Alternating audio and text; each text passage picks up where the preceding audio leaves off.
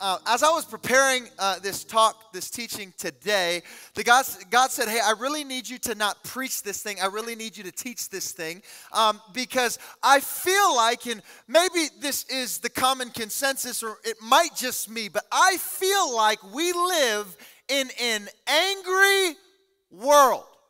Can I get an amen if you believe that?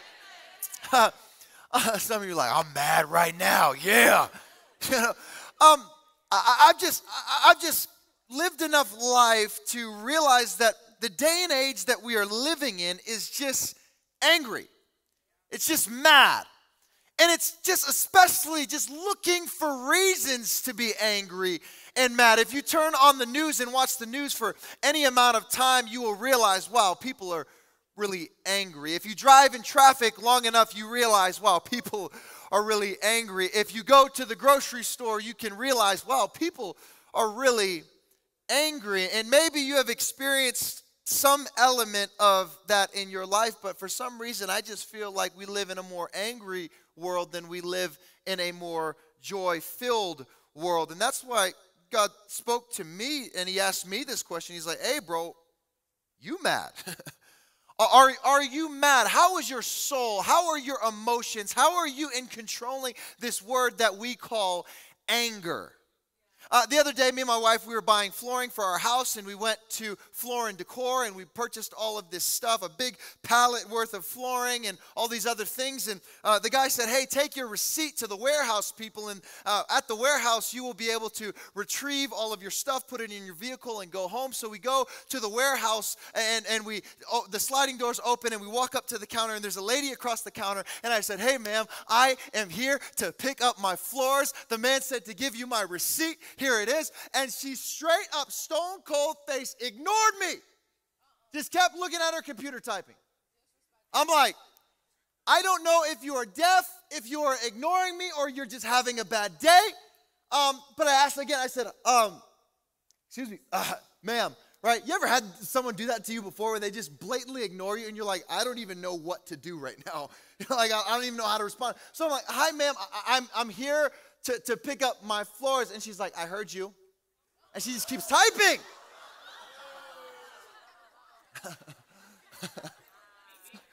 I, I said, ma'am, um, I, am gonna need you to do something. So then, so then she pulls one of these, right? She's just typing. She doesn't say a word. She just goes, right? And she doesn't even look at me. She grabs my receipt, okay? And I'm like, dude, this lady is having a bad day, right? You ever met those people that work at jobs and you're just like, why do you work here? like, like nobody is forcing you to be here right now. It's, it is by choice that you are employed at this establishment. If you hate it that much, just quit. Go work somewhere else, literally anywhere else. And she grabs my receipt and she says, Sir, you can't pick it up right now. It's going to be at least 30 minutes. And so I turn to my wife, and, and, and I don't do well with conflict. Okay, I'm not like the type to like snap back. I'm just like the type to like just be quiet. My wife, she's the little chihuahua. Okay, and like when I need something, I'm like, babe, you're gonna need to handle this one, right? So me and my wife talk, and we're like, you know what? It's okay. We could we could pick it up, and we are like, we'll, we'll, just go to get lunch, and then we'll come back. And so I said, cool, ma'am. I'll, I'll be back in 30 minutes. And she says, uh-uh, no, you won't. You need to come back at 3 p.m. because that's the earliest you can pick it up. It is 12 p.m. right now. You just said 30 minutes. And now you're saying three hours. I don't understand. I can't comprehend. And she's angry, just angry. So we're like, you know what, whatever. Okay. Turns out 30 minutes later, I get a call. Hey, your order's ready for pickup. I'm like, yo, what is this chick on, dude? like, I don't, I don't know what's going on. So me and my wife, we go back and the warehouse guy comes to us now. And the warehouse guy says, hey, where's your vehicle? We say, right here. He looks at us and he laughs at us. He's like, that stuff is not fitting in that car. you guys are ridiculous, but we'll bring it out to you. And I'm like, dude, what is going on at Floor and Decor?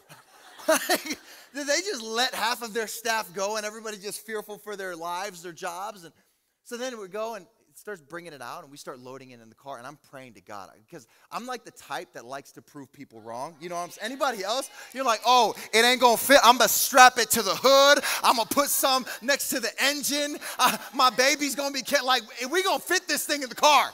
Okay? So we start piling it in and so me and my wife, we're like, it, it's clearly gonna fit. So me and my wife, like, we're pastors, right? So we gotta be careful what we say. But we start talking, right? And we're like, me and my wife, we're like talking to each other. We're like, oh man, dude, I think it's gonna fit. Yeah, dude, like, man, wow, this is a right. We're trying to talk loud enough for him to hear us. I, I wanted so bad to be like, suck it, but I couldn't, right? Because I'm sanctified, I'm holy, right? So, so, but I thought it, I thought it. I was just, like, man, it's just so funny. People are just so angry, so disgruntled, so upset, so mad, so dismembered in the mind. Have you ever noticed that anger has become, in, especially in our day and age, the default emotion that we feel when bad things happen? Or when, or when outcomes occur that we didn't expect. We just get mad. We, we, we just we, we deal with this thing called anger. Today I want to talk to you about this thing called anger because I feel like the wick of people is getting shorter and shorter. you ever talk to your boss, right? And, and all it takes is one, just, just one thing, and then snap, it's over. Or maybe you. maybe someone says something to you, and it's just like, dude, I, I just snap. I just get mad. Tap your neighbor say, You mad, bro? Seriously, I, but hey, are, are you mad, bro? Because in James chapter 1, this is our foundational text today. James chapter 1, verse 19, it says this. It says, Understand this, my dear brothers and sisters. You must all be quick to listen, slow to speak, and slow to get angry. Human anger does not produce the righteousness God desires. I love this very simple three step process that James gives us. Okay? Can I solve most of the problems that you have in your life right now? Okay, permission to give you the antidote to all of the things that you have been wanting and needing in your life. James, he paints the picture so simple. He says, All you got to do is three things shut up, open your ears, don't get angry, listen fast. Speak slow. Don't get angry. See, I love it because it sounds so simple, but how many know that is so hard? Especially if you got a loud mouth. Come on, where are my loud mouth people in the room today? Come on, you just got a loud mouth, right? It's, it's a big mouth and it's a loud mouth. All right, that's that's like one of the syndromes that I struggle with. I got loud mouth syndrome. Okay, I just got a loud mouth, and it's funny because now my daughters they adopted my loud mouth. The other day I was like, girlfriend, why are you so loud? My wife was like, she inherited it from you. Because because let's be honest, it's easy to talk fast, listen slow, and get angry. But how many know it is hard in our day and age to listen fast speak slow, and don't get angry. Why is this simple instruction so difficult? Here's why it's because offense is the bait that Satan uses to take Christians out. Did you know that offense takes out more Christians in the church than anything else? Anything else? Offense, John Bevere says it this way, is the bait of Satan. He wrote a book on this idea of offense, offense, offense. It is the single handedly the greatest tool that the enemy will use to take you and I out of the place that God has called us. Why? Because we get offended, because we get bitter, because we get mad. Why did the Pharisees struggle with Jesus? Because Jesus offended them. Jesus was offensive to their culture. He was offensive to their ways. Can I tell you something? The gospel is offensive to people that don't want to hear it. It just is. Therefore, if you're going to be a believer, you better get ready for people to get offended. You better get ready if you're going to be a walking billboard for Jesus, just like the Pharisees, to look at you and say, No, no, no, no, I don't like the church. No, no, no, I don't like those Christians. No, no, no, I don't like what they're preaching. Why? Because it offends culture, it offends lifestyles, it offends habits, not to condemn, not to look down upon, so that people could be built up, so that people can know what the way looks like, so that people can know the truth and the truth can set them free. But it's offensive. It's offensive. And, and, and, here's the thing about offense when not dealt with the right way, just like the Pharisees, they allowed their offenses to lead to their demise because offense will do three things. What will it do? It will bring disorder, it will bring division, and it will bring distance.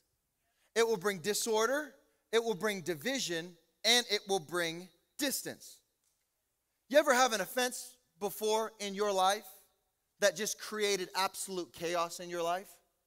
You ever have an offense before in your life that, man, it, it was a small offense? It, it was small. But now all of a sudden you are seeing it affect every single area of your life. And, and, and here's how the enemy tricks us to cope with our offenses just get mad, just get angry, just go punch a wall. just, just, just frown, just, just, just, just let it out. Get mad. Be upset. And God's like, bro, we gotta, we gotta deal with these offenses because in the midst of our madness and our sadness, there is an unraveling of our spirit that leaves us in utter chaos. Chaos, chaos, chaos, chaos, in disorder, in division, and in distance. And we try to crawl and claw our way out of this chasm of destruction. Proverbs 19 says this Good sense makes one slow to anger, and it is his glory to overlook an offense. You ever heard the phrase, what, what's gotten into you? You ever heard that? Your mama looked at you and she's like, Boy, what has gotten into you? Girl, what has gotten into you? Me and my wife, we were in Hawaii a few weeks ago and we were out surfing. And on this very last wave that my wife caught, she got slammed in this wave and she's rolling around on the beach. And if you're a beach goer, especially surfing on waves and getting tossed in waves and, and, and, in like, like a real sandy environment, here is one thing that you can count on every single time that you go to the beach. One common denominator there will always be sand everywhere. Like, how many of you, you ever been to the beach before and you know what I'm talking about? Like, there is sand everywhere. We used to live in Miami. We used to go to the beach every single day. In our car, there was always sand. We would vacuum it out. There was always sand everywhere. We uh, got, we put our surfboards back and we went and we rinsed off a little bit and, and we got in the car and I was like, dang, girl, you got sand everywhere. It's still in your hair, it's still in your ears, it's still in your nose. We went home, we took a shower. How many know when you take a shower after you go to the beach, you realize that there is sand traps in places that you didn't even know existed. you know what I'm saying? Like it's in your nose, it's under your eyelids, it's in your belly, but it is everywhere. Right? Scrubbing, trying to get this sand off. It's everywhere. It's funny because a few weeks ago, my wife, she feels something in her ear. And we're in Arizona now. we ain't even in Hawaii anymore. And she starts digging in there. She's like, What is this? And she pulls out a bunch of sand in her ear. Because that woman don't shower right. Okay. No, but it's funny because even when she tried to cleanse and even when she tried to get rid of it, there was still sand everywhere. Weeks later, she's still finding sand in her ears, still finding sand in places that it doesn't belong. And I'm here to ask you today what has gotten into you that you haven't done a thorough enough job of getting it out of you? And now, because you let it settle in, it's affecting places that you didn't even think it could. And because you didn't take care of it, it begins to latch on to places that aren't even responsible for the original offense. You ever met somebody like that? That they're just so offended and now they're not even taking it out on the offender, they're just taking it out everywhere. And all of a sudden, a small grain of sand turned into a head full of sand, and you're walking around 10 years later, 20 years later, you, you show up in your 40s, and you're like, man, why am I so mad at every single man that comes into my life? And it's because you didn't deal with the offense of your father when he abandoned you, and now you're wondering why at 40, you're like, man, this doesn't make sense, but it's because you didn't get out of you what your father put in you. And now, 40 years later, you're digging out sand in your ears. I wonder how many offenses in our lives, even from our childhood, have we carried into in our young adulthood and saying, man, why am I acting like this? Why do I always have a bad attitude? Why am I always angry? Why am I always looking for a reason to yell at somebody and get upset and get disgruntled? Maybe it's because there's some sand still stuck in your, your ears. And we start to live this life. We, we do it all the time. We wake up with bad attitudes that ruin our day. We talk to people short wicked. We roll our eyes at the waiter. We expect other people to cater to us. We, we cut people off in traffic just because I, I need to get to where I'm going. We get angry at the world, not because of the world, but because hurt people hurt people. And today, I just wonder if God wants to say, hey, I need you to lay down your offenses so that I can take you to new levels. I need you to lay down your offenses because you are called, you are chosen, you are set apart. But guess what? Your offenses don't get to come with you. And only until you let down your offenses, only until you stop getting mad, only until you become slow to anger, can I really do something in your life. Today, I want to deal with some bitterness, some offense, some anger that maybe has been pent up for too long. The Bible says that today is the day of salvation. I've got good news for you. You're, you're in the room and you're like, man, I've been dealing with this offense for a long time. Guess what? Today is the day of salvation. God can say, hey, give it to me, and you can walk out of here a new person. Let me take you back to the genesis of your anger. Where does it start? Many times, the first place that it starts is bitterness. In Hebrews chapter 12, it says this Look after each other so that none of you fails to receive the grace of God. Watch out that no poisonous root of bitterness grows up, troubles you, and corrupts many. There are three things that bitterness will do in your life. Number one, bitterness will show up. That's just a promise from the Bible. That, fair warning, bitterness is going to show up. Number two is this it causes trouble. When you don't deal with bitterness, it always causes trouble. And then number three, what will bitterness do? It will corrupt not just you, it'll corrupt many. This is why I want to talk about bitterness today. I want to talk about your offenses. I want to talk about your anger. I want to talk about your attitude. I want to talk about your emotions because write this down today. Bitterness is a seed. The Bible calls it the root of bitterness. And, and you have to be careful because it grows. What does this tell me? That bitterness is a seed. The Bible says, don't let it grow. Why? Because bitterness will always be available. For as long as you live on this earth, the seeds of bitterness will be sprinkled. There are some of you that walked through the doors of this church today and somebody looked at you the wrong way and you got bitter. You're like, why are they looking at me like that? Like what? Like what? What? What? What? What? What? Why is that girl sitting in my seat? I sit in that seat every single week. Me and my booty are in a committed relationship with that seat. You look under that seat, my gum is stuck under that seat. Bitter, bitter, bitter. Bitterness. What, what, what, it'll show up. It'll always show up. It'll always show up. Maybe that wasn't you. Maybe you had a tough conversation at work. You got corrected, but you thought you were right. You ever been in conversation? You're just like, well, excuse me. bitter bitter. We, we get we get bitter. Somebody did something to you, somebody said something to you, something happened in your life, and and and what happens? It's a seed. It's a seed. And you have to be careful because the problem is not the seed. The problem is how long you allow that seed to sit in the garden of your life. Because any seed that sits in the garden of your life will grow. It doesn't matter if it's a bad seed, it doesn't matter if it's a good seed. If you leave it in the garden of your life, it will grow. Bitterness, what is it? It's a it's a seed. Even if you don't think that it matters, even if you don't want it, even if you don't think it'll grow, if you leave it in your garden long enough, whatever is not meticulously managed will multiply. It's, it's promised to. As long as it's in your garden, guess what? It's going to get sprinkled.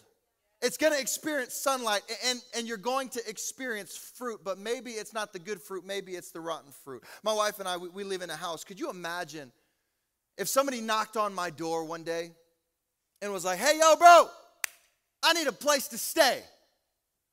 Can I come kick it with you? I know you don't know me. I don't, I don't belong to your family, but they're just knocking on my door and they're like, yo, is it cool if I come kick it in the cribbo? Oh? If I come sleep in your bed? I come eat your food? I come wear your clothes? I come use your toilet?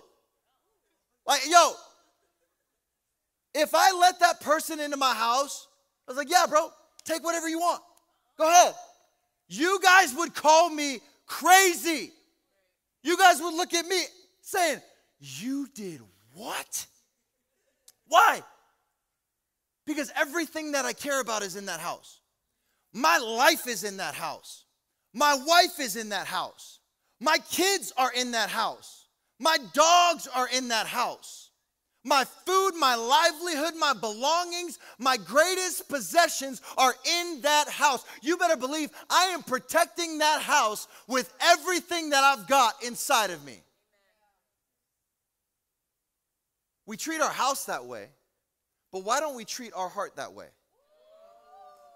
That when anger starts knocking at the door, hey, yo, bro, is it cool if I pull up to the cribbo? Oh. hey, is it cool if I take your joy?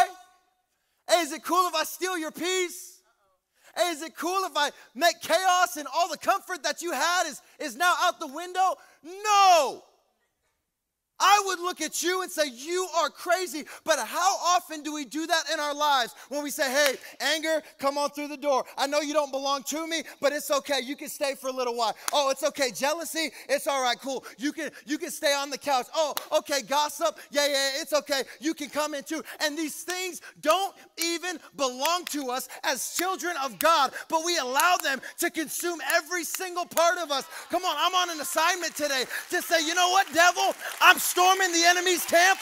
I'm evicting this thing. No longer can you stay with me, but I'm taking back everything that you stole from me. Come on, is there anybody that's ready to storm the enemy's camp and say, You can't have my mind. You can't have my sanity. You can't have my peace. Anger, bitterness, offense. You got to go. you ain't got to go home, but you can't stay here. You, you gotta you gotta go. We're way too invitational when it comes to offenses.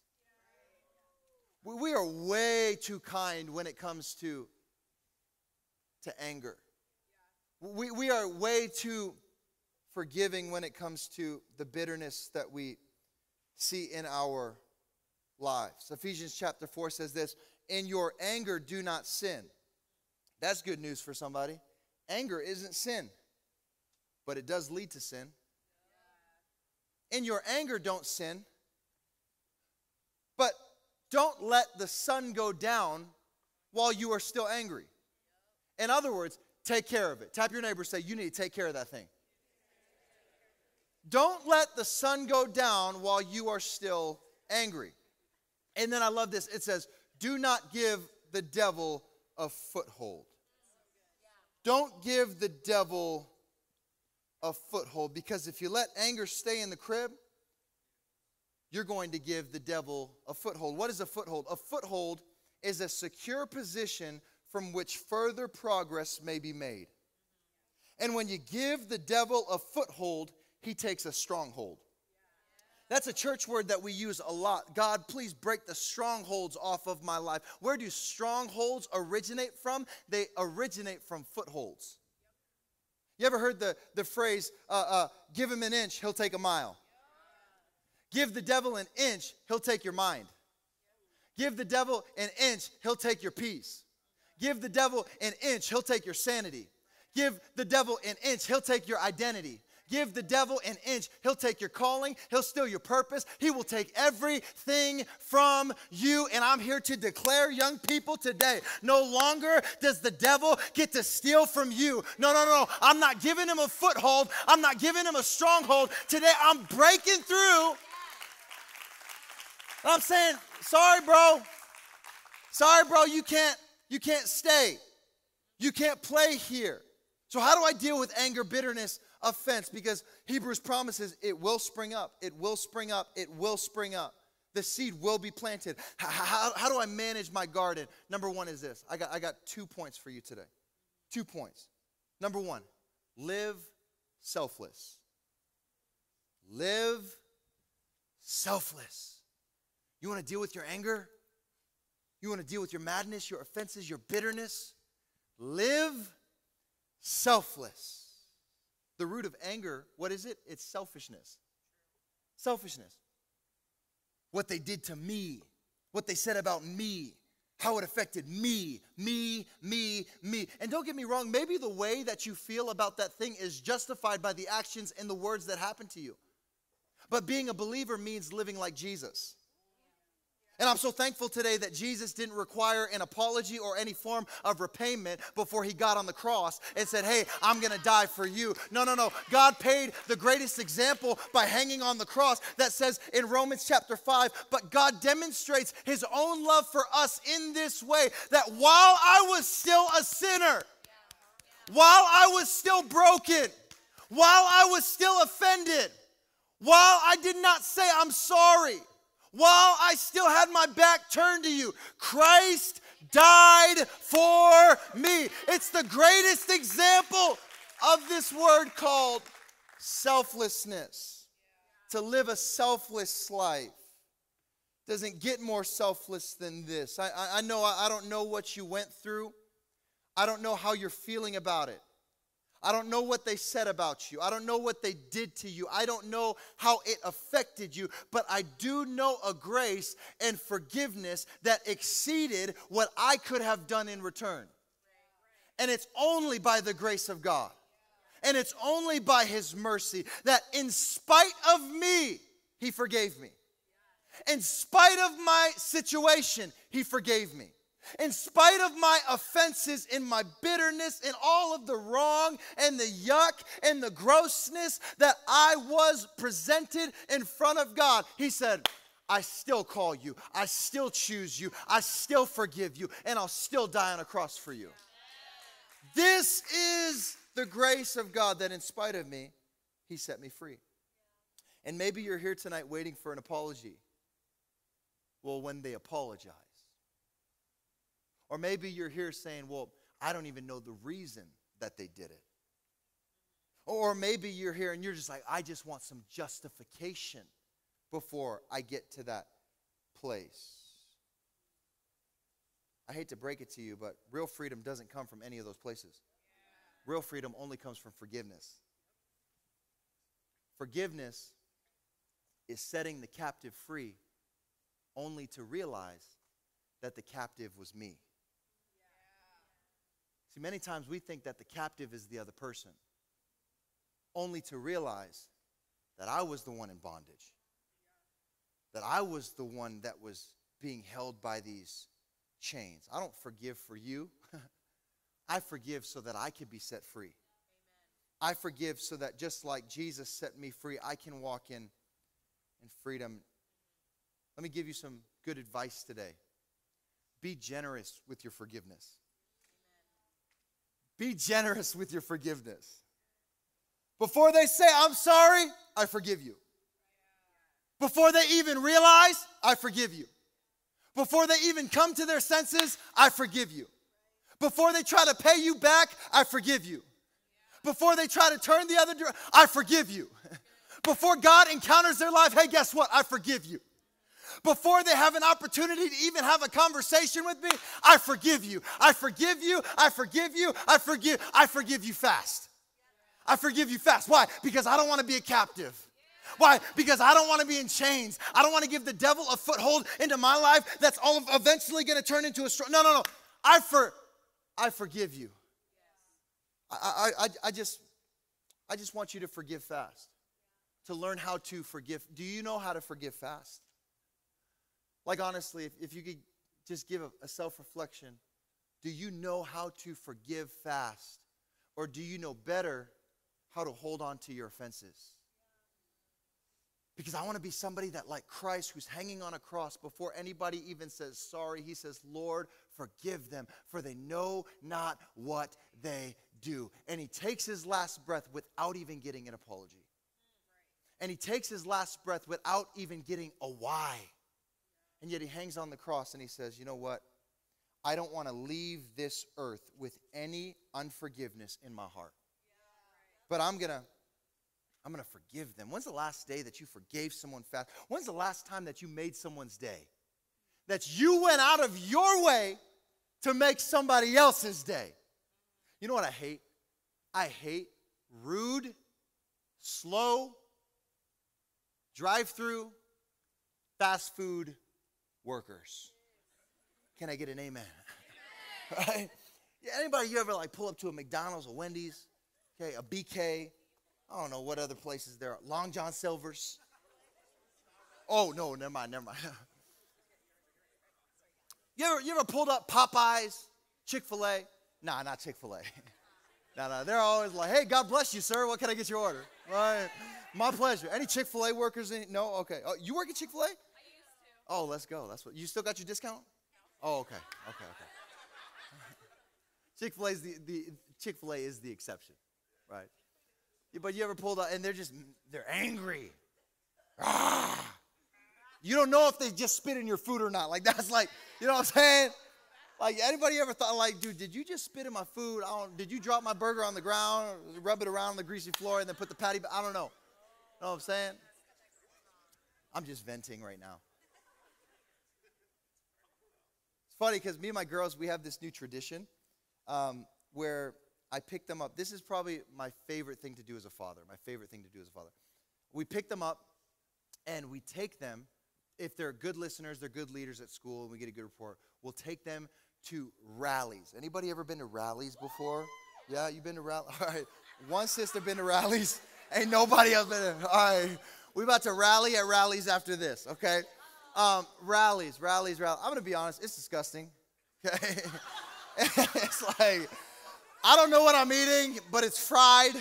Okay, fried in a whole bunch of oils and grease. All right. Uh, but where we came from in Miami, they called it Checkers, but it's the same thing. It's the same establishment, but they call it Rally's. I think it's a cool name. Shout out Rally. Um, and we take them to Rally's because they easily, hands down, have the best soft serve ice cream on the plate. It's better than Mickey D's. Okay? It is so good. They got this strawberry swirl cone. Okay? And and this summer, you know it's hot, so I always get in the car and I'm like, girls, who wants some ice cream? And they're always like, ah, right? I love it. That's like my favorite part of being a dad is that right there. Who wants some ice cream? Ah! right? And so we drive up to Rally's, and um, I started doing this out of reflex okay? Because my dad used to do this when I was a kid. And I didn't even realize that my dad did this until a few days ago. I was like, oh my goodness, I'm having a flashback to my childhood where we would pull up to McDonald's, not Rally's, but McDonald's, and he would always get his ice cream cone. And he would always treat the lady the same way. And I realized why he did it. And so what we do is we pull up to Rally's, and it's usually the same young girl that's always working there, okay? And she opens the door, and I'm like, hey, I, I want three cones, okay?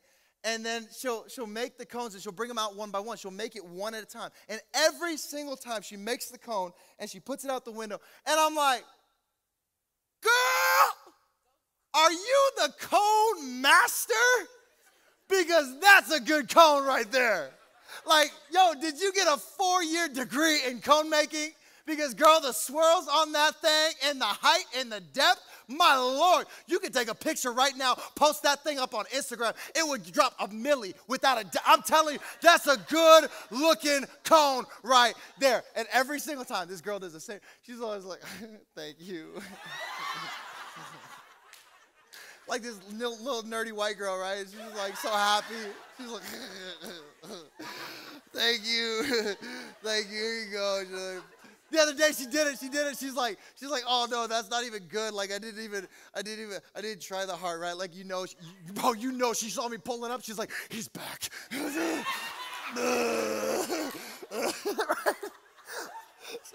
she gives me the cone, right? She goes back. She makes the second cone. I'm like, girl, I didn't even know that the second cone could be better than the first cone. Right? Girl, look at the height compared to the, it. This is amazing. She's like, thank you. thank you. Right? little, little Rally's employee, right? And she'll bring me back the third cone, and I will always, man, girl, man, I hope you make my cones every time. Because you killed that. For real, for real.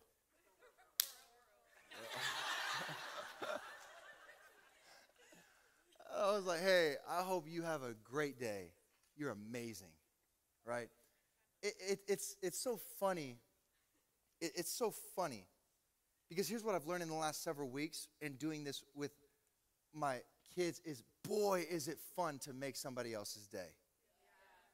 Not only that, but boy, is it rewarding making somebody else's day. Because when I'm generous with my words, when I'm generous with my encouragement, when I'm generous with my celebration, with my life, watch this, the third cone is always bigger and better than the first cone. This is why it says this in Proverbs chapter 11. It says, The world of the generous gets larger and larger, but the world of the stingy gets smaller and smaller. The one who blesses others, the one who speaks well of others, the one who encourages others, the one who praises others, the one who, who, who it tries to advance others and lift others up is abundantly blessed. But those who help others are helped, and curses on those who drive a hard bargain. I've got a challenge for you. Tomorrow, make someone's day. Go out of your way to make someone's day. It's easy. And watch what happens. You're gonna be walking around with three ice cream cones and you're gonna be like, yo, this is the best day of my life. Live selfless. Tap your neighbor, say, live selfless. The band can come back up. Number two is this write this down. You need to live life having a critical eye, not a critical spirit. You, you wanna, you wanna, you wanna deal, you wanna deal with the bitterness, the offenses, the anger in your life?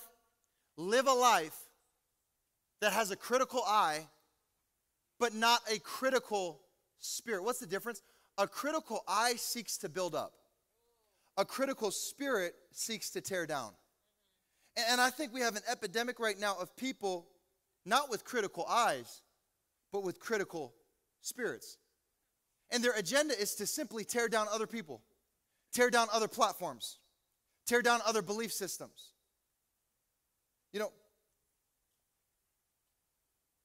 I love it because you go on TikTok, you go on Instagram, you turn on the news channel. What, what do you see most of? Criticism? Just people being critical. Critical. I have a friend he just started this YouTube channel preaching the gospel of Jesus Christ. It's amazing. Reaching tons of people. It's awesome. I'm so happy for him. I go on his comment section. It's like, he's a false prophet. This is false teaching. This doctrine is not right. This exegesis is false. I was like, bro, shut up. I go on these people's Instagram page. I'm like, dude, where are you preaching the gospel? Where are you sharing your faith? Everybody got to be so judgy. So judgy. You ever been in an atmosphere that's like, oh, they just judging me. So judgy. That's why we try to create an atmosphere where you can belong here. Yeah, right. That whether you are cute or you are ugly, you can show up to church.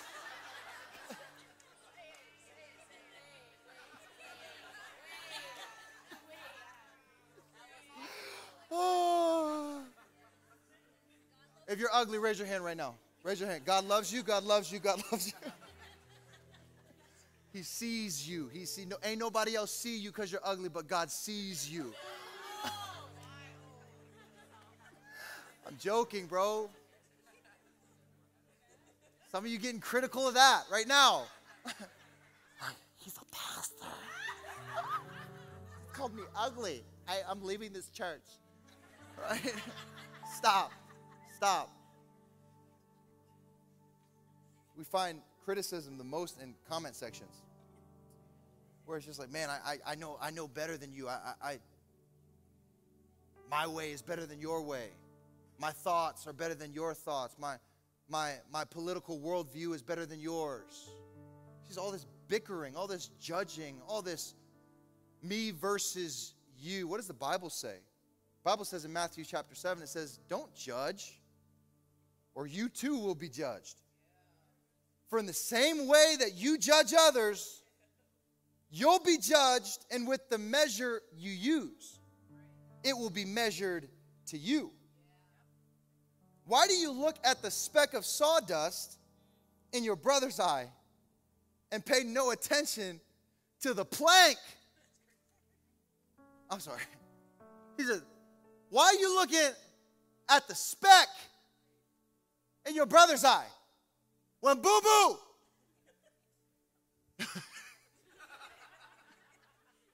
you got a whole two by four in your eye. like, you got a whole plank in your eye. Pay no attention to it. How can you say to your brother, Let me take the speck out of your eye, when all the time there's one in yours? I love this. You hypocrite! First, take the plank out of your own eye, and then you'll see clearly to remove the speck from your brother's eye. My fear in this room today is that many of us here, we wouldn't be prepared to be judged based on the measure that we judge other people. That's my fear today. Because the Bible says, hey, if you judge others, that same measure, it will be judged to you. My fear today is that we wouldn't be prepared to be judged based on the measure that I judge other people. So I got to deal with the plank that's in my own eye. That's why I always try my hardest to see the best in people. God, I choose to see the best in them. I know they hurt me. I know it was painful. I know it was traumatic. I know it left me brokenhearted. But I'm going to choose to see the best in them. Because if I don't, the worst in them only left me broken. The worst in them only left me offended. The worst in them only left me questioning God, can you really use me, God? Can you really change this, God? Can you really heal me? So, you know what, God? I'm going to choose to see the best in them. Not because a guy told me, but because that's what you choose to see in me. Anybody thankful today that God doesn't see the worst in you? Oh my gosh. Oh, how many, like honestly, honestly, uh, have you ever thought about that? Anybody thankful today that God does not look at your junk and say, dang, boo boo, that is jacked up, that is messed up, there ain't no way. But God looks at you and I and He says, baby, I choose to see the best in you. I see the potential. we're far from it, but I see the potential. I see the dream. Yo, that lifestyle, it does not match up, but I've got a plan. I don't see you for where you are, I see you for who you're becoming. I thank God that God doesn't look at what man looks at, God looks at the heart. And this is difficult. This is difficult. This is difficult because it's easy to see the worst in people because many times the worst is on the surface and the best is underneath. That's why God says, I don't look at the surface things that man looks at. I don't look at your resume. I don't look at your faults. I don't look at your failures. I don't look at your past. No, no, no, no. I choose to see the best, even in you. Even in you. I choose to see the best in you. Who are you becoming? Who are you calling? Who is not answering? God, I pray for that alert in the name of Jesus. I never know how to feel about Amber Alerts. Know? I never know how to feel about dust storms either. I, I never, I never been in one. Praise God, man. You guys get dust storm alerts? Wow. I don't even know what's going on right now. but we choose to see the best in people. I'll wrap up with this Micah chapter 7, verse 19. Where is the God who can compare with you? Wiping the slate clean of guilt turning a blind eye, a deaf ear to the past sins of your purged and precious people. You don't nurse your anger and you don't stay angry long. For mercy is your specialty. That's what you love most. And compassion is on its way to us. You'll stamp out our wrongdoing, and you will sink our sins in the bottom of the ocean. I love that. The Bible says that God will turn a blind eye and a deaf ear to your past, and He will sink your wrongdoings, and He will sink everything that makes you gross and disgusting. He will sink it into the deepest part of the ocean. That's the God that we serve. But he says, Bro, you don't have to be offended. You don't have to deal with anger because I'm a God of mercy. There are some of you today, maybe you came in here offended, maybe you came in here angry, maybe you came in here with different bitterness, things that have happened in your life. I don't know what you went through, but here's what I will say today's a great day to lay your offenses down, to drop your anger at the foot of the cross and say, You can't live with me any longer. You can't stay here. There are some of you that you're dealing with unforgiveness from your past. Today is the day. Forgive them. Forgive them. But you don't know, I don't know what they did to you. But I know what God did for you. I don't know what they said about you. But I do know what God said about you. I don't know how you feel about that thing, but I do know how God feels about you. And today's a great day to say, you know what? I choose to forgive.